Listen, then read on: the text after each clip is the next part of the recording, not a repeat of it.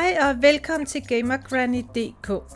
Hvis du kan lide det, jeg laver, og fortsat ønsker danske Fortnite-videoer, så like og subscribe. Husk at slå notifikationer til, så du ikke går glip af nye videoer.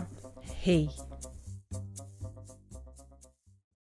I denne challenge, der skal man øhm, samle gnomer op i Fort Crumpet og i Holly Hedges, og øh, man skal samle to op hver sted. Før der skulle vi jo ligesom grave dem op, og nu skal vi ligesom bare øh, øh, søge på dem. Men øh, jeg starter over i øh, Fort Crumpet, selvfølgelig med her en gang, så kan I se, hvor at de kan finde de her gnomer henne.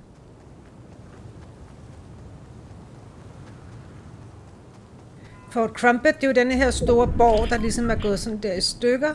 Øh, og lige herinde, når man kommer ind, så er den første gnom, og den øh, samler man op, sådan, et stykke. Og så øh, løber man lige herned og til venstre, og så herinde under trappen, så står den anden gnom.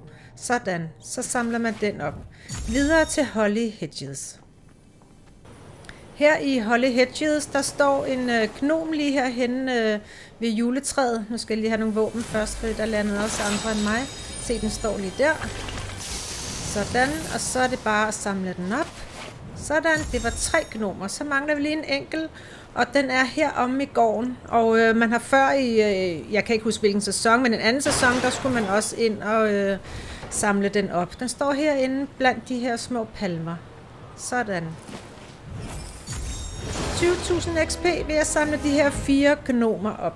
Tak fordi I så med, og håber I kunne bruge videoen til noget. Vi ses. Hej.